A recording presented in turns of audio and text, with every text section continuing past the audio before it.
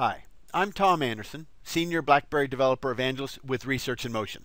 In the next few minutes, I'm going to show you how to deploy your BlackBerry 10 applications to a live device, in this case a DevAlpha B device, using the command line. It's actually a fairly simple process. We'll only need a few things. We'll need one of the SDKs, either the WebWorks SDK or the native SDK. We'll need your completed application. You'll need to have signing keys because in order to deploy your application to a live device, you need to either sign the application or create a debug token on the device. In this example, we're going to use the debug token on the device. So let's go ahead and start with the debug token. What I've got here is I've got a command window loaded up. And the command window is in my, in this case, WebWorks SDK main directory. But then I've navigated down to the dependencies, tools, and bin directory. Now, if this directory is already in your path, you won't need to make the navigation. But since it's not in my path, I do need to navigate down. Now, the first thing I want to do is I want to create the debug token. In order to create the debug token, I'm going to use a command here or a, a script. We're just going to go ahead and paste a line in called BlackBerry debug token request. Now what this does is this creates the debug token from my signed keys. So you'll notice there's a store password, which I've blacked out. The device pin, so the pin of the actual device. Debug tokens are specific for devices. And where I want this debug token to be. I go ahead and enter, and in a couple of seconds, it creates my debug token. Perfect. Now I've got the debug token. Now I need to get it on my device. So let's pop over and take a look at our live device.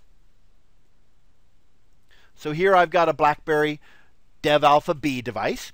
And the first thing we need to do is put it into development mode. So we're going to slide down from the top to bring down the menu and click Settings. Once the setting comes up, we're going to click on Security and Privacy.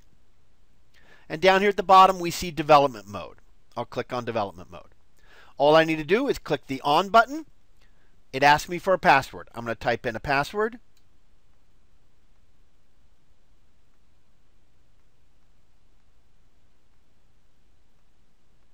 And press OK.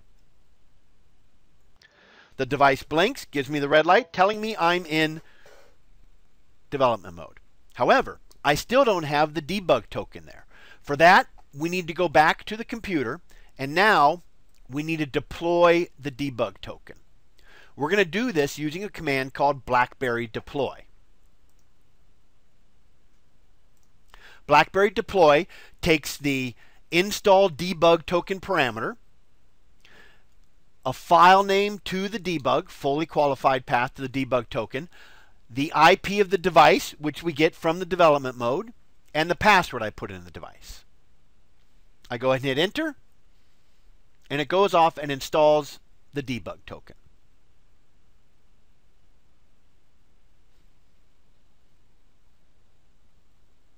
Now, if we take a look back at the device, you'll notice the Remove Debug Token button is no longer grayed out. That means our debug token is now installed on the device. And now, we're ready to install our application. So back over here to our uh, to our command line window. Now what we want to do is we want to simply use the same BlackBerry deploy script, but this time we're going to deploy the application. In this case, I'm going to be using one of the examples from the NDK samples out on GitHub. And I'm going to deploy the Lightning Crossfade app. So notice we're using BlackBerry slash deploy, but this time instead of install debug token, we're using install app. The password is the password we've put on the device, the device IT, IP, and the package. In this case, I've got it at lightning crossfade QML slash bar. Okay, that's all we have to do. We go ahead and hit enter, sending info request, install, processing, and success. If we take a look over on the device, we see that the Crossfade app is in fact on our device. And if we click, up it comes. And here we can see that we can use the Crossfade device. It's been installed on our application. Again, we needed to have this application either signed or it needed to use a debug token. In this case, we use the debug token. Here are the steps we took to load the debug token. First, we use BlackBerry debug token request to create the debug token. Then we set the device into developer mode and we use BlackBerry deploy to install the debug token. From there, we use the BlackBerry deploy with the install app parameter to be able to install the app onto our device. And that's all there is to it.